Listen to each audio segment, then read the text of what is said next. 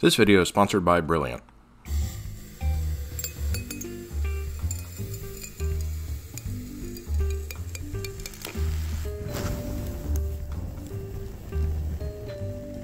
Methane. You like it, I like it, the EPA hates it, and cow farts are made from it. Methane is the lightest hydrocarbon, so light in fact that it's lighter than air. Of course, that also means it has a pretty low density, so it sucks for powering things that go brrrr unless you compress it to a ridiculously high pressure and put it in a heavy steel tank. But to get it into the same energy density ballpark as, say, gasoline or diesel, you have to condense methane into a liquid. This is what liquid natural gas, or LNG, is, not to be confused with LPG, which is liquid petroleum gas, which is a mixture of propane and butane. Unlike LPG, which can be condensed at room temperature at around 5 to 10 atmospheres of pressure depending on the composition, LNG, which is mostly methane, condenses at minus 162 C, although it can be stored as high as minus 90 C or so at around 35 atmospheres of pressure. Global demand for LNG has been growing over the past few decades. Most new rocket designs burn LNG instead of kerosene, and it's very possible that we'll see LNG fueled aircraft in the not so distant future. This is because liquid methane offers most of the advantages of liquid hydrogen but without the drawbacks.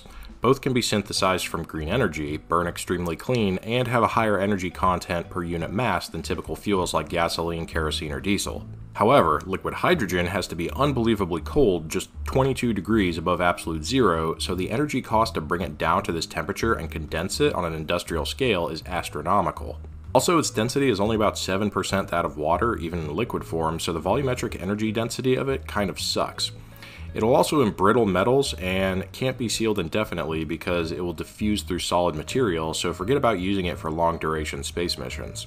Liquid methane, on the other hand, has a density of about 45% that of water, and compared to hydrogen or even nitrogen, it's relatively easy to liquefy and keep cold with a good refrigeration setup, which is what I'm going to show you in this video. To reach the temperatures necessary to condense the methane, I'll be using my mixed gas Joule Thomson cryocooler from several videos ago. This was made to liquefy nitrogen, but I'm going to try methane first because it should be easier.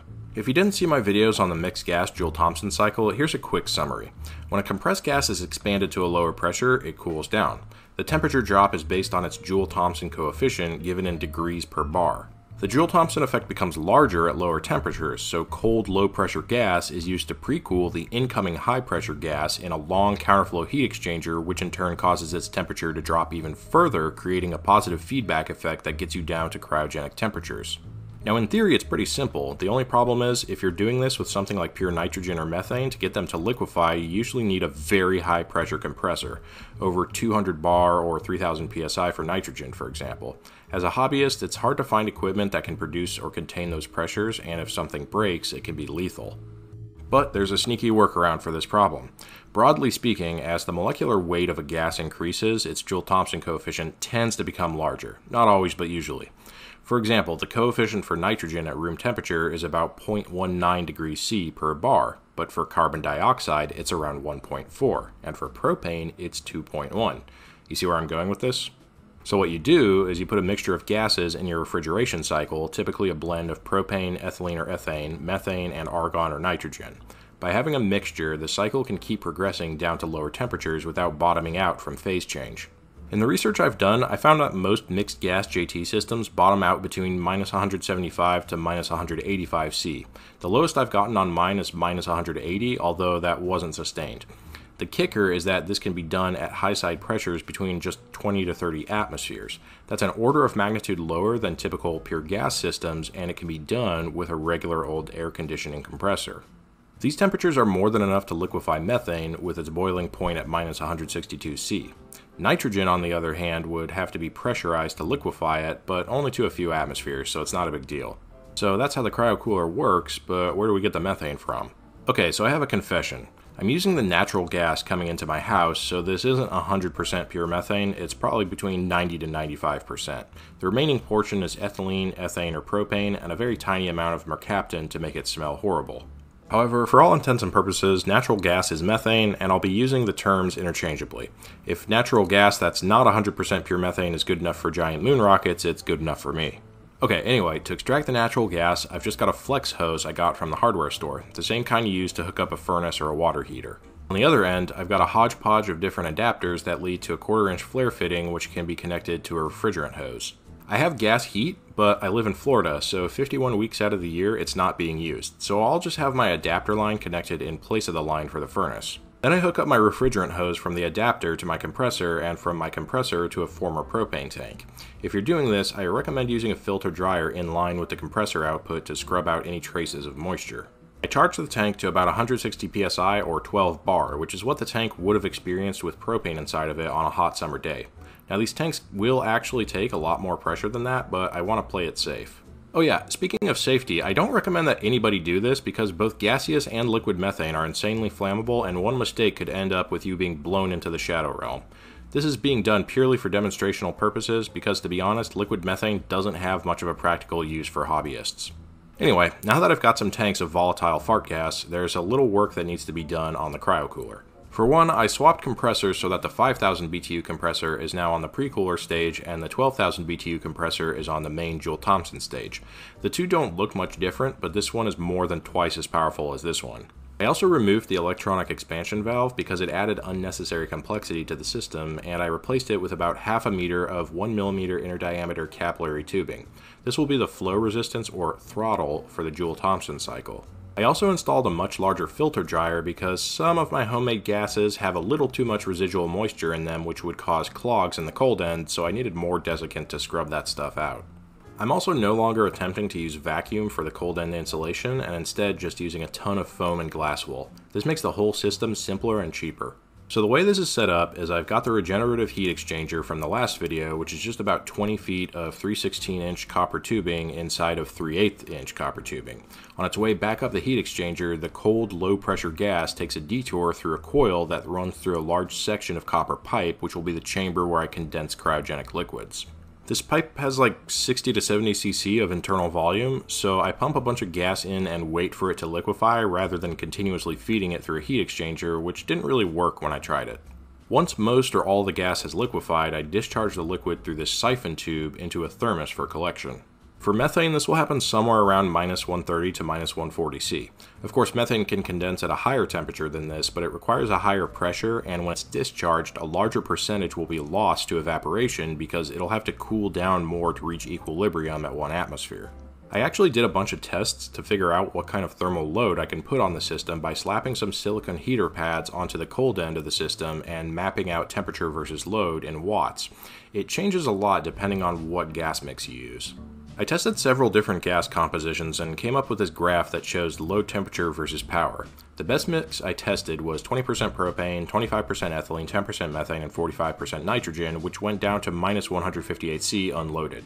Now that sounds pretty cold, but it's actually kind of crap because a mixed gas Joule Thomson cycle should be able to get down close to minus 180C without that much trouble, so I think I have some work to do on my insulation before I liquefy nitrogen. That'll be good enough for liquefying methane right now though, so let's give it a shot. But before I liquefy this fart gas, I need some science money, so let me tell you about this video sponsor, Brilliant. Do you want to learn STEM topics in a fun and interactive way and not just from some unqualified ex convict on YouTube who uses stupid MS Paint animations? Then you should try Brilliant. Brilliant lets you learn topics like math, physics, coding, or data science with an interface that's like a video game, which makes the learning experience fun and engaging. The best part is that it's set up so that you can take lessons in bite sized chunks of a few minutes at a time so you don't have to set aside multiple hours a day like with a regular class. Lunch break, smoke break, poop break? Bust out that phone and knock out a quick lesson on Brilliant. Before long, you'll be a master of that topic without having to set foot in a stuffy college classroom. Visit brilliant.org slash hyperspacepirate for a free 30-day trial and 20% off an annual premium subscription. Okay, now back to the fart gas. I'm feeding the natural gas I collected from my tank to my compressor and into the cold end of the cryocooler. We're showing about 370 psi or 26 bar at minus 105 C, so that's right on track for condensation. After I shut off the compressor, the pressure of the liquid methane falls as the temperature falls. The pressure approximately corresponds to the condensation temperature, so I know I've got saturated liquid inside. I'm going to stick this thermocouple on the outlet of my discharge valve and open it up to see what happens. What you're seeing there is a stream of liquid natural gas flashing to vapor as it hits the warm atmosphere. If it was pure methane, it would bottom out at minus 162 C, but because it's mixed with a few percent of higher boiling hydrocarbons, we only see minus 159 C. Nevertheless, it's still a cryogenic liquid, and if that got on my hands without gloves, I'd probably end up with a pretty awful case of frostbite. Let's repeat this experiment, but this time I'll try to collect some of it in a thermos. As you can see, most of the fluid just evaporates when I discharge it straight out of the valve because there's no flow restriction or baffles, so whatever liquid does go into the thermos, most of it just gets blasted back out from the high pressure discharge and flashes back to vapor. I did still manage to catch a few drops of liquid though. You can see them gliding across the garage floor from the Leidenfrost effect. Let's try that again with a bit of flow restriction. You can see that the boil off is substantial. Everything electronic was turned off when I did this to avoid ignition sources because that's a cloud of cold but extremely flammable gas. Still not very much liquid though, it immediately boiled off. On a third attempt, I actually gave the liquid enough time to cool to nearly its 1 atmosphere boiling point so that there would be less boil off during discharge, and I managed to get a little bit more, but it was still only 10 to 20 cc's. To get more liquid, I think I'm going to need a bigger reservoir and better insulation on the cold end to get more heat lift. I pulled the counterflow heat exchanger out of its container, removed all the glass wool, and cut off the cold end so that I was left with the bare copper heat exchanger. This is the original cold head that holds the cryo liquid. Not very big as you can see since it's just a 1 inch pipe section. I'm going to replace it with a 2.5 inch copper pipe that looks kind of like a Chipotle burrito because the ends are folded in to seal it. This should have close to 700 cc's of holding capacity for liquid. I also significantly upgraded the insulation. Stuffing glass wool around bare copper was pretty ineffective, so I actually wrapped the copper with foam tubing, taped it off so that it was sealed, and filled the gaps with styrofoam, which is more effective than glass wool. The end result almost looks like a professional piece of equipment. Almost. With the improved insulation, the system got as far down as minus 179C and momentarily hit minus 180C, but I didn't manage to capture it on camera. This is much closer to the performance that we should be seeing from a mixed gas Joule-Thomson system. For the methane feed, I also made this heat exchanger that connects to the system's pre-cooler to bring the feed down to about minus 25C before it enters the cryocooler. This will help freeze out any residual moisture and reduce the energy requirement for liquefying the gas. Okay, let's try this again. This time I took the liquid below minus 140 before discharging and used a capillary tube with a baffle to preserve as much of the liquid in the thermos as possible. Completely discharging the cold reservoir took several minutes. The empty thermos weighs 452 grams, and after discharge it weighed 573, so I collected 121 grams of liquid methane, which is a massive improvement. What you see being poured out here is only half the contents of the thermos. The density of liquid methane is a very low 45% of water, so that means the total volume of liquid should be about 267 cc's. It took around 20 minutes to liquefy this much. But wait, can we make it freeze?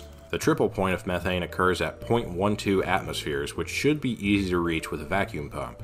In theory, if I put this under vacuum, that should force extra evaporation, causing the methane to freeze at 90 Kelvin or about minus 183 C.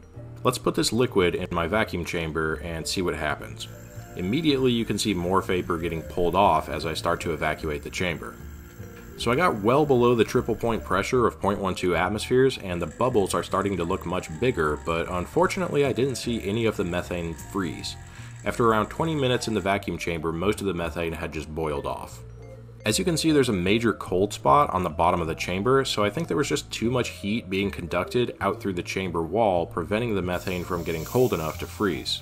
Also, I suspect that ambient infrared was probably warming the sample up a lot too, so I'll have to try that experiment again with some reflective foil over the chamber and some form of insulation to prevent the sample from conducting too much heat. I've still got over 100 cc's of liquid left, so let's see what happens when it's ignited. The liquid methane cracked the glass container from the extreme temperature difference. I guess I should have thought that one through. As you can see, it's ridiculously flammable. You definitely wouldn't want a Dewar full of this stuff just sitting around in your garage. I was going to make more liquid for another attempt at freezing, but disaster struck and the cryocooler exploded at around 400 psi, causing the walls of the insulation box to blow out. Looks like most of the damage was near the bottom. The seam weld on the burrito seems to have ruptured under pressure. That's what I get for not using proper end caps. Here's a close-up look at the damage. Fortunately, the rest of the cryocooler seems to be intact. I guess I'll have to leave solid methane for the next video. Next time I'll try to build this properly and use an actual end cap instead of just trying to pinch the ends together and braze the seam shut. Now let's talk a little bit about numbers. Before I improved my insulation, I managed to get a ballpark idea of what sort of heat lift I'm working with, but those tests probably gave an extremely conservative estimate because there's a major heat transfer bottleneck going from the low pressure cold pipe to the outside wall of the liquid reservoir.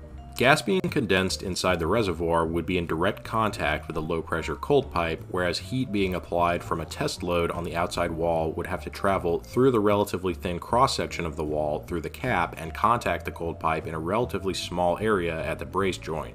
Part of this could be solved in testing by filling the pipe with a liquid hydrocarbon like propane to transfer heat to the walls a little bit better, but liquid hydrocarbons are pretty poor heat conductors compared to something like water, so I think I still wasn't getting a very good picture.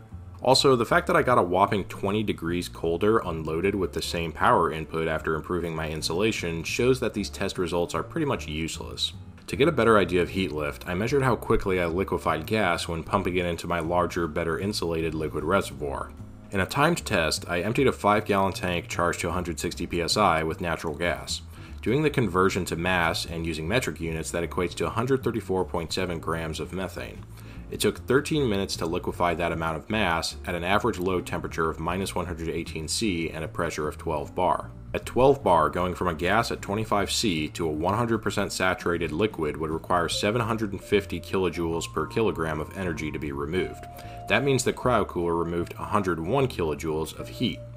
Dividing that by 13 minutes comes out to 130 watts of heat lift at minus 118 C. This was with an input power of 1300 watts, so the coefficient of performance was 0.1 or 10%, which is approximately 9.4% of Carnot efficiency for a theoretical refrigerator. The unloaded temperature for this particular gas mix was minus 153 C.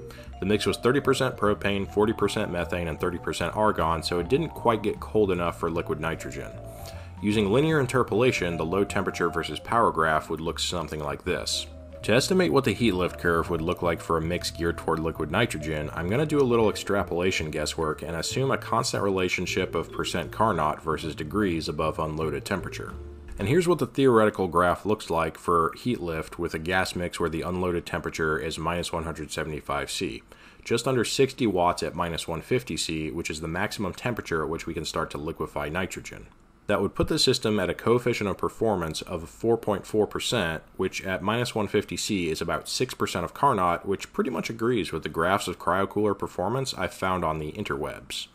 That's it for now. In the next video, I should have frozen methane, liquid air, and then it'll be time to spin up some superconductors. Okay, that's the, that's the end of the video. You can, you can go now. Bye.